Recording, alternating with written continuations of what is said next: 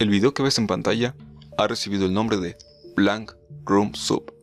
En él se puede apreciar a un hombre, posiblemente de ascendencia asiática, presumiblemente chino, comiendo de un tazón.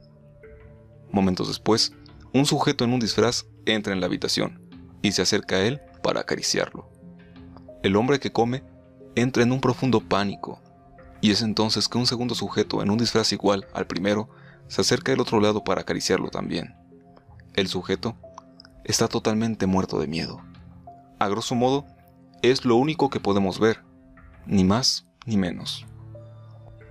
Diversos usuarios de Internet investigaron el caso hasta descubrir que los disfraces tan peculiares de los individuos del video reciben el nombre de Ray Ray y fueron creados por Raymond Percy, un importantísimo director de animación, el cual ha participado en episodios de Los Simpson o películas como Wrecking Ralph. Raymond concibió la idea de los Ray Ray como un proyecto independiente, subiendo diversos cortos de las aventuras de estos personajes a su canal de Dailymotion. Hasta ahí, todo normal. Desafortunadamente, él relata, según lo que le contestó en un email a la usuaria de YouTube Raidbot Horror, que una noche entraron a su estudio para robarse única y exclusivamente los trajes de los Ray Rays, y que de ahí en adelante no supo más de ellos. Al año siguiente, el video Soap Torture apareció en YouTube sin lograr mucha repercusión, pero asustando terriblemente a quienes lo veían. Raymond fue cuestionado si él tenía algo que ver con el contenido de los videos, y dijo que no, que le causaba terror lo que veía en ellos, que esperaba que se tratase una broma, y que no llamaría a la policía aludiendo a esa posibilidad de que todo fuese falso. Bien, desde la aparición del video han transcurrido nueve años, casi diez, y desde que el usuario de YouTube Some Ordinary Games dio a conocer la existencia de los videos, el tema se volvió viral, y varias personas han teorizado. Desde que el sujeto en cuestión se está comiendo los restos de su esposa, hasta que el sujeto se trata de un criminal que fue secuestrado y ajusticiado, pero a mí no me interesan esas cosas, ni los cuentos perturbadores, ni los cuentos terroríficos que se tejen alrededor del suceso. Así que pienso ser lo más objetivo posible. Siendo que a diferencia de otros sucesos raros como Set Satan, donde la información externa es la que ayuda a resolver el misterio, en este caso creo que es el mismo video el que nos puede dar múltiples pistas. Para empezar, son dos videos. El primero es el que estás viendo en pantalla donde el sujeto está comiendo y ambos Ray Rays entran. Creo que este es el que más información revela. Analicémoslo con cuidado. El sujeto está comiendo, en un tazón con logos de comida china. Más adelante, a ras de cámara, se alcanza a ver presumiblemente una lata de Pepsi, y del lado izquierdo, una bolsa de plástico. El sujeto está comiendo usando un babero, ¿Por qué esto es importante? Esto me da a descartar esa teoría mórbida de que está comiendo restos humanos. Más bien, parece que le han comprado comida rápida y lo han sentado a comer. Imaginando un escenario hipotético, los criminales le mantienen secuestrado y le han comprado comida, mientras le obligan a usar el babero para entonar con la estética infantil de los trajes de los Rey Rey. Algo así como si fuera un bebé malo o algo así. Pero continuemos con el video. Los Rey Rey entran en pantalla y uno de ellos voltea a ver a la cámara, para acto seguido correr hacia el individuo. Se escucha por un lapso muy corto de tiempo un grito, probablemente proveniente del sujeto que usa el traje, y se puede deducir que han golpeado al sujeto que comía. El problema con esto es la transición de sonido blanco que usan. Vale, es 2006 y la calidad de la cámara parece de un VHS, lo cual es raro porque para ese entonces ya era un formato obsoleto. Pero el efecto parece que está puesto a propósito. Lo normal sería que se cortara la grabación terminando el video y ya. A menos que la cámara tuviese un fallo, saldría esta transición de sonido blanco, lo cual se descarta, porque lo hace en un momento muy preciso. Ahora pasemos al segundo video. Parece que se trata de una segunda versión del primero, en el cual el sujeto está sentado otra vez comiendo el tazón de comida china.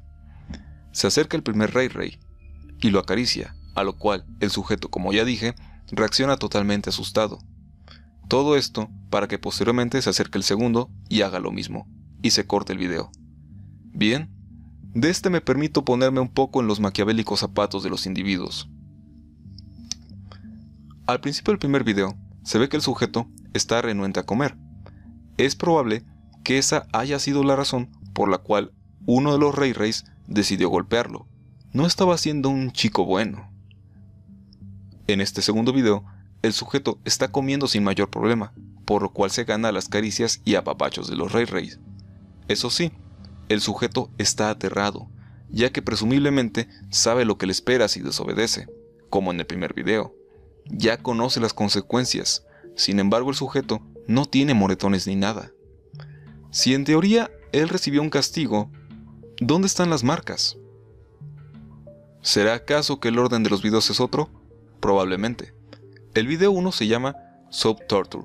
Fue subido por Adana el 8 de septiembre del 2006. El video 2 se llama Freaky Soap Guy y fue subido antes, el 26 de noviembre del 2005. ¿Por qué se ve entonces con una mejor calidad? Bien, si el orden de los videos fuese contrario al que yo planteo, basados en la fecha de subida, tiene un poco más de sentido. Digamos, el sujeto está comiendo y es felicitado por eso, e incluso le dan un refresco para beber. Pasados unos minutos, al no querer comer ya, es castigado. Pero no tendría ningún sentido por el detalle de la bolsa en la mesa y mucho menos el de las cámaras. Son dos cámaras distintas, grabando desde distintos ángulos. ¿Qué pasa entonces? Algo que me resulta importante es ver el lugar donde lo están grabando. Es un sitio amplio, no es una casa. Parece más una oficina o incluso un estudio de grabación o de fotografía, ya que posee buena iluminación en los techos. Entonces, ¿a qué se dedican los sujetos detrás de los Ray Ray? ¿Son fotógrafos? ¿O ya tienen su mini empresa de torturas y grabaciones con todo y estudio? Es sencillamente una ubicación demasiado buena para ser cierta. Ahora vamos a los canales donde fueron subidos los videos.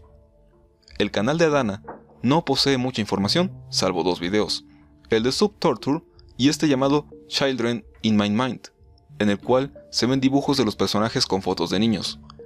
La descripción dice algo más o menos como personajes australianos raros con niños. A este video muchos le acusan tintes pedófilos, pero no es nada concreto.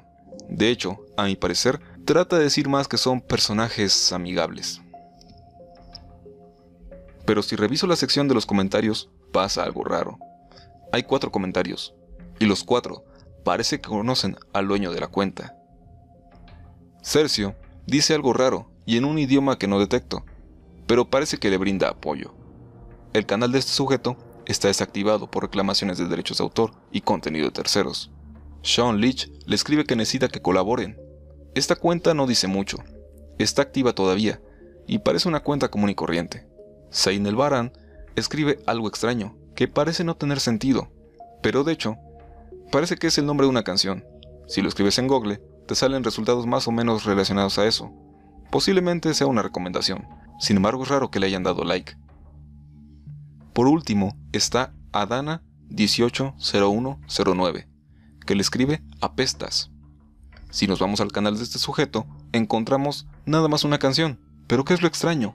El sujeto tenía un blog, ya inactivo, en español. Tiene un comentario en español, pero en canales relacionados tiene a Adana. ¿Por qué? En este entonces, parece que Sean y Adana18 conocen al dueño del canal. He intentado comunicarme con ellos, pero no he obtenido respuesta. Vamos entonces al canal de Renacement, donde está subido Freaky Sub Guy.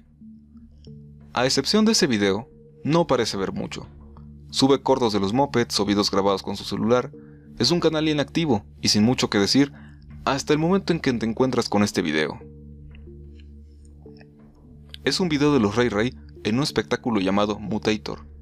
De hecho, hay un comentario con un link hacia la página de Mutator y una especie de casting Aparentemente se trata de un show en vivo que usaba a estos personajes. Se dejó de producir en 2013, aunque sigue manteniendo vigente su copyright hasta la fecha. Como sea, es un proyecto en el cual Raymond Percy dio los derechos para utilizar a sus personajes. De hecho, Mutator tiene un canal en YouTube con un par de videos de los Ray Ray que produjo Raymond. En cuanto al canal de Reina Cement, parece que el sujeto es fan de las marionetas y todo lo que involucre esto. ¿Por qué todo esto es importante? Porque hay que cubrir todas las posibilidades y sospechas, ya que a pesar de haber subido los dos videos raros, no parece haber relación entre el canal de Adana y el de Renaissance, pero sí gente que conoce a los dueños de los canales y sí una relación entre Renaissance y Mutator. Tardé mucho, pero me puse en contacto con gente de Mutator para preguntarles sobre los Ray Ray, pero se limitaron a decirme que estaban desaparecidos.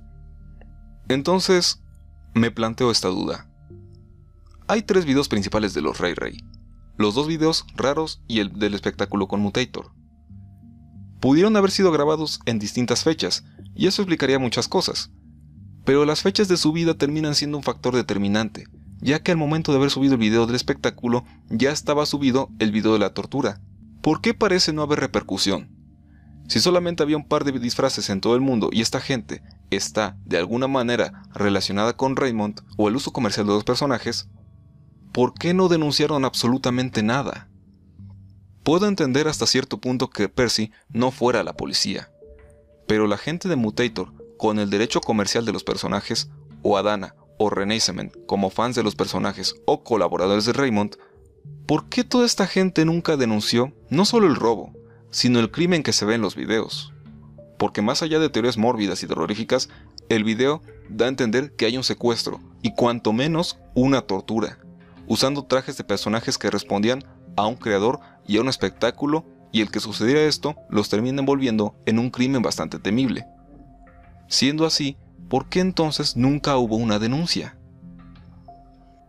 Bien, con todo este análisis, me arriesgo a dar una respuesta que probablemente sea errónea y probablemente no le guste a nadie, pero pienso que no hay nada oscuro ni feo detrás de esto. Como dije, el primer video parece que está hecho a propósito para perturbar. El segundo video parece no decir nada. Pero sea como sea, han pasado mínimo 10 años desde la grabación. Y nunca hubo ninguna denuncia. Ni siquiera cuando la policía pudo haber investigado a Mutator. No hay ningún registro o algo que proporcione la identidad de la persona torturada. Y recalco ese punto en el cual el lugar de grabación parece demasiado bueno. ¿Recuerdan los videos de Normal Porn for Normal People? Esos en los cuales según aparecía gente haciendo cosas raras y perturbadoras, que incluso se llegó a hablar de un video de un simio agrediendo a una mujer y que al final resultaron ser cortometrajes caseros para darle credibilidad a la creepypasta? Pienso que es exactamente lo mismo. No sabría explicar cómo ni por qué, y dudo que Raymond Percy se haya prestado para esto, pero siento que a la larga simplemente se trata de un video falso pretendiendo establecer una situación real. Quizás los trajes efectivamente fueron robados y usados para crear un video creepypasta, o bien, aludiendo a las posibilidades, se usó a los personajes para crear ese video y generar morbo o expectativa, pero en su momento no funcionó. A la larga, hay demasiadas cosas implicadas como para que esos videos salgan de la nada, y más aún, que presentando un supuesto crimen no se haya perseguido en más de 10 años. Además, ¿Qué me dice que el canal de Adana y el de Renaissance no pertenecen al mismo creador. Aquí pueden pasar dos cosas. O como digo yo, no hay nada extraño y se trata solamente de una creepypasta muy bien hecha. O de aquí en adelante, en los meses próximos, la policía meterá las manos para esclarecer el caso, y entonces inevitablemente tiene que declarar Raymond, Mutator y los dueños de los canales. Pero bueno, ¿qué opinas acerca de este tema? Me gustaría saber tu opinión en la caja de comentarios. Asimismo, te invito a suscribirte a mi canal si crees que lo merezco y seguirme en mis redes sociales. Mi nombre es Yoshimitsu y nos veremos en la próxima.